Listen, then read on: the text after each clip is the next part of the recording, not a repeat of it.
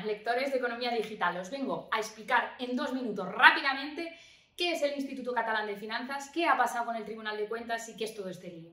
En principio, el Tribunal de Cuentas ha impuesto una fianza a ex 34 altos cargos del Gobierno de 5,4 millones porque eh, una posible malversación de caudales públicos por alentar el 1.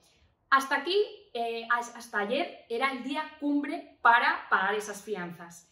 ¿Qué ha pasado? Que solo cuatro las han pagado por su cuenta, dos abonando el importe y otros dos mediante eh, inmuebles, dando inmuebles para el aval.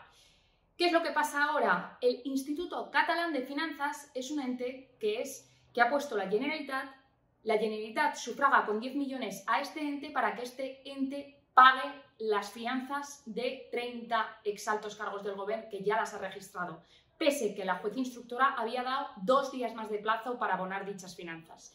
¿Qué es lo que pasa ahora? ¿El por qué antes no y ahora sí de la Generalitat con este mecanismo? Pues porque se juegan todos estos funcionarios y la Generalitat parece que no se entere.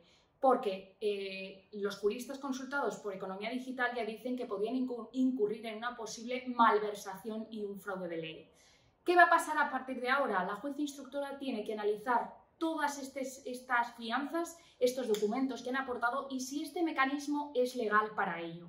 Entonces se tomará unos días y luego, importante, será la Sala de Justicia del Tribunal de Cuentas formada por tres magistrados, dos a propuesta del PSOE y una magistrada a propuesta del PP, quienes diriman eh, el fallo y si esto es legal, no es legal, qué va a pasar.